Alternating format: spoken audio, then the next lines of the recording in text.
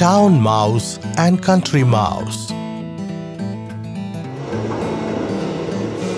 முன்ன ஒரு காலத்துல ஒரு சின்ன எலி டவுன்ல வாழ்ந்துகிட்டு வந்தது. கிராமத்துல இருந்த தன்னோட நண்பனோட ஒரு படத்தை அது பார்த்தது. அந்த நண்பனை பார்த்து சர்ப்ரைஸ் கொடுக்க அது முடிவு பண்ணுச்சு. இந்த இடத்தோட ஸ்மெல் சுத்தமா நல்லா இல்லையே. மோசமா இருக்கு. என்னால மூச்சு கூட விட முடியல. என்னோட ஃப்ரெண்ட் வீடு எங்க இருக்குன்னு தெரியலையே.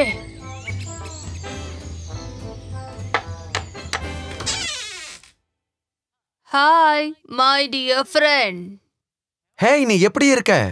நான் நல்லா இருக்கேன். உனக்கு சர்ப்ரைஸ் கொடுக்கலாம் தான் வந்தேன். நான் இந்த சர்ப்ரைஸை எதிர்பார்க்கவே இல்ல. என் இடத்துக்கு உன்னை வரவேற்கிற மை ஃப்ரெண்ட் சிட்டில இருந்து இவ்வளவு தூரம் என்ன பார்க்கறதுக்காக வந்ததுக்காக எனக்கு ரொம்ப ரொம்ப சந்தோஷமா இருக்கு. நண்பர்கள் கொஞ்ச நேரம் பேசிக்கிட்டு இருந்தாங்க. நீ ரொம்ப தூரம் ஜேர்னி பண்ணி வந்ததால ரொம்ப டயர்டா இருப்ப. நீ போய் கொஞ்சம் ரெஸ்ட் எடுக்கிறியா? நீ போய் ஃப்ரெஷ் ஆயிட்டு வந்துரு. அதுக்குள்ள உனக்கு தேவையானதை நான் ப்ரிப்பேர் பண்ணி வைக்கிறேன்.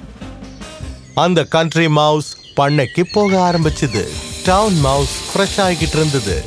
ஓகே ஓகே நான் இப்ப என்ன பண்ண போறேன்னா ஃப்ரெஷ்ஷான வெஜிடபிள்ஸை என்னோட ஃப்ரெண்டுக்காக கொண்டு வர போறேன். அதே நேரம் அந்த டவுன் மவுஸ் ஃப்ரெஷ் ஆகும்போது எல்லா தண்ணியையும் தீர்த்திடுச்சு. ஆ, என்ன இங்க தண்ணி கூட இல்லையே. இந்த இடத்துல எதுவுமே சரியில்லை. டவுன் மவுஸ் எரிச்சலோட வெளியே வந்தது. சீக்கிரம் வா. இங்க இருக்கிற பொருட்களை நம்ம சாப்பிடலாம்.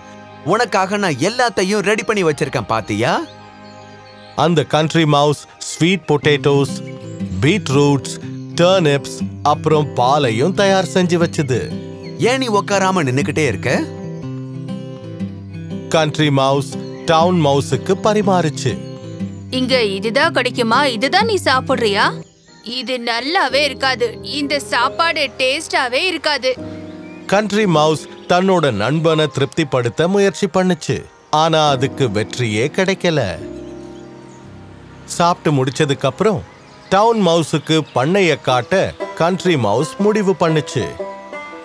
ஆ இங்க இருக்கிற காத்து ரொம்ப சுத்தமானதா இருக்கு. இத ஸ்மெல் பண்ணும்போது நல்ல புத்துணர்ச்சி தருது. இங்க இருக்கிற பசுமையான இடம் எனக்கு ரொம்ப பிடிச்சிருக்கு. இங்க இருக்க செடிகள்ல பட்டாணி செடிகள் தெரியுமா? அதுக்கப்புறம் அவங்க சில ஈர நிலங்களை கடந்து போனாங்க. இந்த ஸ்மெல் சுத்தமா நல்லாவே இல்ல. இந்த இடம் ரொம்ப அழுக்கா இருக்கு. நான் உனக்கு ஒரு உண்மை சொல்லட்டுமா? நீ இங்க வாழ்றது எனக்கு சுத்தமா பிடிக்கல. டேஸ்ட் இல்லாத உணவுகளை சாப்பிட்டுக்கிட்டு இந்த மாதிரி அழுக்கான இடத்துல நீ வாழ்றது எனக்கு சுத்தமா பிடிக்கல. நீ என்னோட இடத்துக்கு வந்துரு. நம்ம ரெண்டு பேரும் ஒன்னா இருக்கலாம். உனக்கு வேணா நான் கொடுத்த உணவுகள் பிடிக்காம இருக்கலாம். ஆனா இங்க இருக்க எல்லாமே எனக்கு பிடிச்சதா இருக்கே.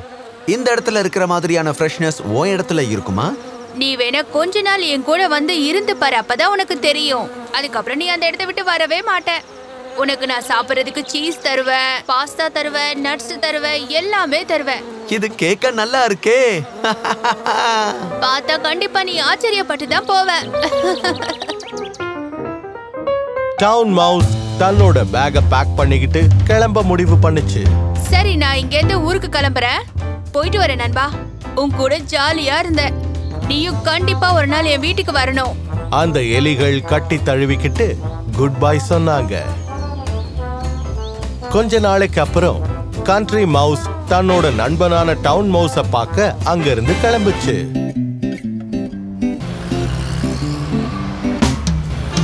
எவ்வளோ பெரிய பெரிய பில்டிங்ஸா இருக்கு? நிறைய கார்ஸும் இருக்கு. அப்புறம் நிறைய சுவையான உணவுகள் கூட இருக்கும் போல இருக்கே. எனக்கு இந்த சிட்டி ரொம்ப ரொம்ப பிடிச்சு போச்சு.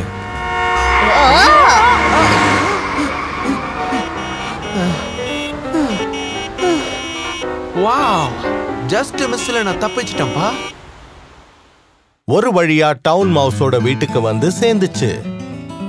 Welcome welcome my dear friend நீ வருவேன்னு நான் நினைச்சு கூட பார்க்கல. டவுன் மவுஸ் கண்ட்ரி மவுஸ வீட்டுக்குள்ள கூட்டிட்டு போச்சு. அதுங்க கொஞ்ச நேரம் பேசிக்கிட்டு இருந்தது.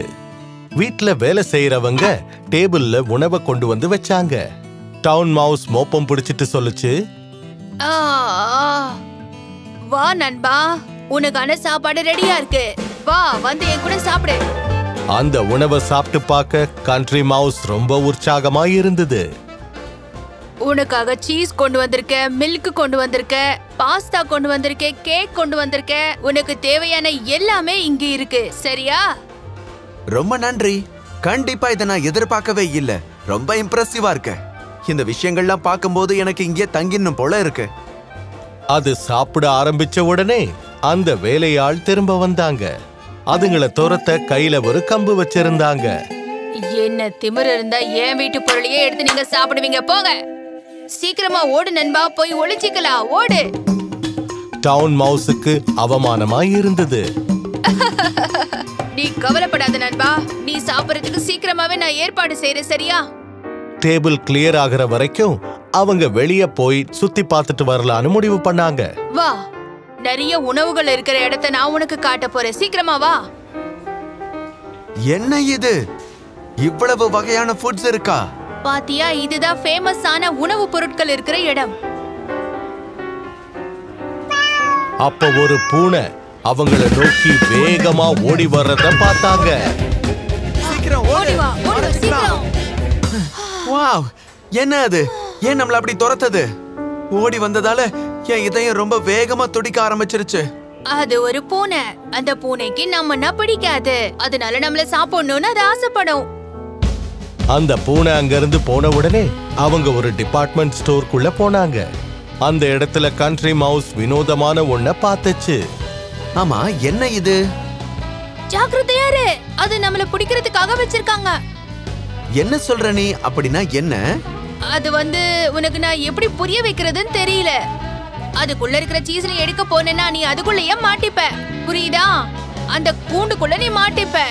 இப்படி எல்லாம் நடந்துச்சுன்னா எனக்கு ஹார்ட் அட்டாக்கே வந்துடும் இதெல்லாம் ரொம்ப ரொம்ப கொடுமையா இருக்கே. சரி சரி. இதெல்லாம் நினைச்சு நீ கவலைப்படாத. கொஞ்சம் பொறுமையாரு இந்த மாதிரி உணவுக்காக அங்கேயும் இங்கேயும் ஓடிக்கிட்டு தெரு தெருவா சுத்துறது எனக்கு சுத்தமா பிடிக்கவே இல்ல. இந்த வாழ்க்கை எனக்கு ரொம்ப பயத்தை ஏற்படுத்துது. இதுக்காகவா நான் இவ்வளவு தூரம் பயணம் பண்ணி வந்தேன்? சொல்லு நண்பா. இல்ல இல்ல நீ என்ன சொன்னாலும் சரி நான் இங்க இருந்து கிளம்புறதா முடிவு பண்ணிட்டேன். இந்த இடம் நிம்மதியாவே இல்ல. இங்க நடந்த எல்லாத்துக்கும் நான் உன்கிட்ட மன்னிப்பு கேட்டுக்கிறேன். என்னோட கார்டன்ல இருக்கிற ஃப்ரெஷ்ஷான ஃபுட்டு தான் எப்பவுமே எனக்கு பெட்டர்னு எனக்கு தோணுது. இங்க இருக்கிற எந்த உணவுமே எனக்கு பிடிக்கல.